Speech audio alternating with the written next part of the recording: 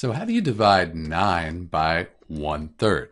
I'm going to show you two ways that we can do that. First, we could get a common denominator. Right now you can think of this as 9 over 1. It's still 9, we're just dividing by 1. So we want to get the same denominator. I could multiply 9 by 3 over 3. That way 3 times 9, that's 27. 3 times 1, that's 3. So we have 27 over 3. We're going to divide that by 1 over 3. 1 goes into 27 27 times. 3 divided by 3 is 1, so we end up with 27. So 9 divided by 1 third, that's 27. Here's another way you can do it.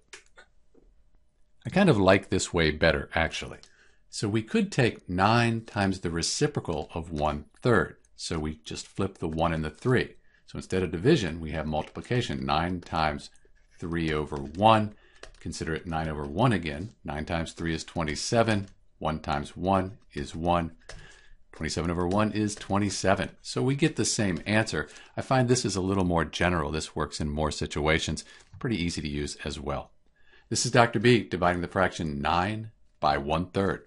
Thanks for watching.